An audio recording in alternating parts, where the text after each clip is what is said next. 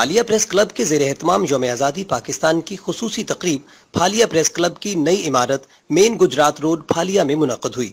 تقریب کے مہمانان خصوصی، تحریک انصاف کے ممتاز رہنما چودھری حسن طارق تارڑ اور جماعت اسلامی کے ضلعی امیر محمد زیغم مغیرہ تھے۔ تقریب میں یوم آزادی کے حوالے سے ملی نغموں کا بھی اہتمام کیا گیا، جس سے صحافی اور شرکائے تقریب خوب لطف اندوز ہوئے۔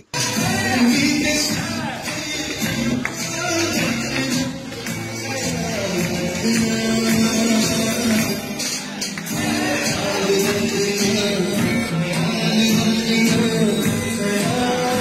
سے خطاب کرتے ہوئے چودھری حسن طارق تارڑ نے کہا کہ یوم آزادی پاکستان کی اصل روح، عوام کی خوشحالی، مستحکم پاکستان اور مضبوط معیشت ہے۔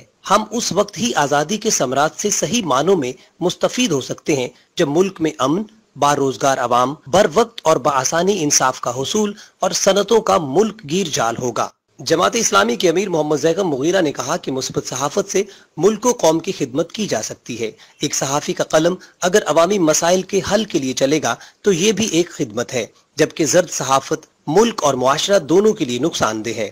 دیگر مقررین میں سمن زمان تارڑ، ڈاکٹر غلام احمد، مغل، سید سہیل انجم مرزا قیصر فاروق، عدنان یوسف تارڑ اور رضوان حیدر لطیف شامل تھے۔ محمد زیغم مغیرہ نے پھالیا پریس کلب کی بہتری کے لیے ہر ممکن تعاون کا یقین دلاتے ہوئے پھالیا پریس کلب کو ایک لاکھ روپے عطیہ دینے کا اعلان بھی کیا، جس پر تحصیل بھر کے صحافیوں نے ان کا شکریہ ادا کیا۔ تقریب میں تحصیل بھر سے سینئر ورکنگ صحافیوں نے کثیر تعداد میں شرکت کی۔ پروگرام کے آخر میں یوم آزادی کے حوالے سے تیس پاؤنڈ کا کیک کاٹا گیا اور بھالیا پریس کلب کی نئی عمارت کا افتتاح مہمانان گرامی زیغم مغیرہ اور حسن طارق تارڑ نے کیا۔ اب تک کے لیے اتنا ہی۔ مزید اپڈیٹس کے لیے دیکھتے رہیے پھالیا ٹی وی۔